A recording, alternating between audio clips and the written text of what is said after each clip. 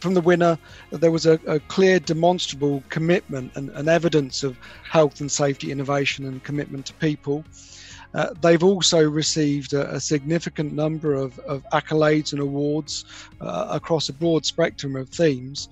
And simply put, they were clearly very passionate about their, their people, their project, uh, and also a commitment to continuing a, a drive for improvement. So, on that basis, I'm, I'm, I'm very pleased to announce that the winner of this category is Kier Highways. Thank you. Every company talks about health, safety, and employee well-being, but how many can truly own and empower everyone to always work safely, regardless of where they're working and who with? On the SMP M23 and M20, we are a family, and as an ultra site, this includes our contractors, our visitors, and of course the clients. Nothing is more important than taking care of yourself and supporting your colleagues.